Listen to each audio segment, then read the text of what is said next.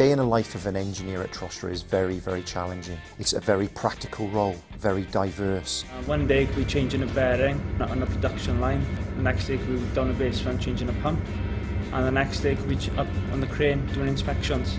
The big part of Shropshire is keeping the place running. You've got to keep the steel going out through the door. A lot of opportunities present themselves during the day in which we have to engage and communicate with our operators, understand faults. I, I work with a lot of equipment here, some are 30 years old, some was installed last year. We've got to make it work together. That's a massive challenge. The variety of work on a day-to-day -day basis is, is different.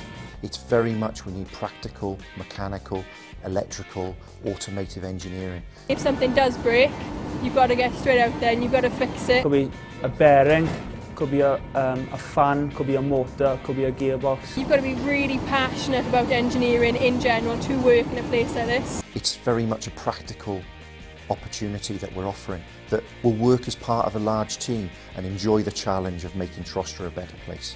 Are you up for the challenge? Are you up to the challenge?